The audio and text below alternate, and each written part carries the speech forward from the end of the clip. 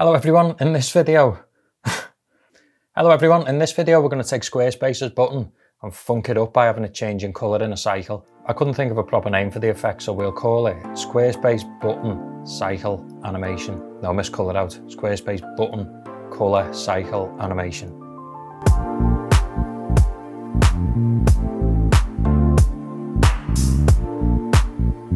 So before I start, this video will go over how to set up the animation and then a bit later on we'll go over how to change the colours and the timing and also how to target a single button as well. So if we go to our page and then I'm going to add the button. I'm going to set this to small and then you can configure your link here as well but I'm just going to leave this for now. So if we hit apply and then save and then we want to go to our custom CSS. So if we go design, custom CSS and then we're going to kick this one off with the idea of the button. Now this is a Brine family template. I nearly always use Brine's because of the baseline functionality, but I have tested it in other template families as well and it's worked fine. So it should be good to go on yours, but if it isn't, just leave me a comment below saying you, um, it doesn't work for me. So we'll go dot SQS hyphen block hyphen button hyphen element hyphen hyphen small. A couple of curly brackets down the line. And then I'm going to go hyphen WebKit hyphen animation colon. And then I'm going to call this one color rotate, color hyphen rotate. We're going to put a space. I'm going to go 5S. Now I'll explain this 5S later on in the video, but for now we'll just leave it at that. So if we do 5S space linear, space, infinite, space, and then the last one, alternate, semicolon. If we come down the line, I'm gonna go animation,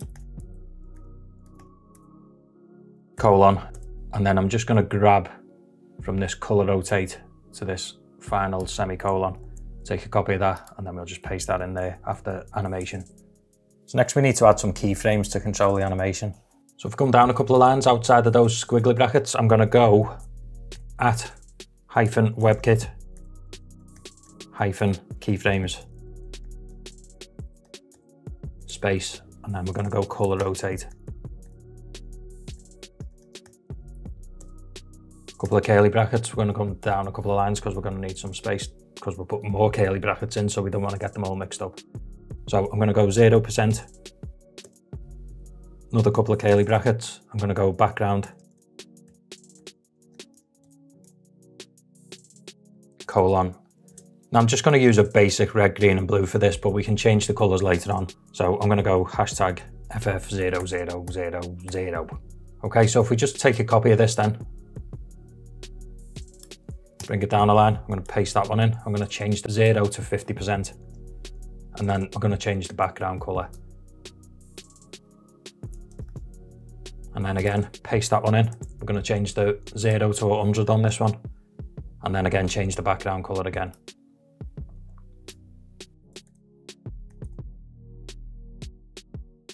And there we go, Bob's your uncle. We've got our colors running through the button. So as I mentioned earlier in the video, we can adjust the speed of this by coming across to our 5S over on this line. So we can change this to whatever value you wanted to make it a lot more subtle. So let's go with 25 on each of these. And then you can see that it slowed the animation right down. And we can also change the colors as well. So let's go with a red. Let's use this color picker. We'll go with a strongish red, which we've already got here actually at the moment, through an orange. So if we take a copy of that, we'll change this second one. Paste that one in and then we'll go with a sort of baby diarrhea yellow colour. Take a copy of that, cancel that. Paste that in there. There we go, we've got it subtly running through some different colours. So as I say, it's just a case of finding the colours that you want to use for your buttons and then just adjusting them all in this section. Okay, last thing to mention, let's say you've got a couple of buttons on your page, but you'd only want one to have this funk going on. So let's say we just want to target this button to have the effect. We want this one to just be a normal button, the one on the bottom. So I'm going to use Squarespace block identifier. As always, link in the description to this. And then I'm going to copy on the block ID. That'll copy it. We just need to shut that down. Come back over to CSS. I'm going to drop this down. Go back up to the top. We're going to paste the block ID in.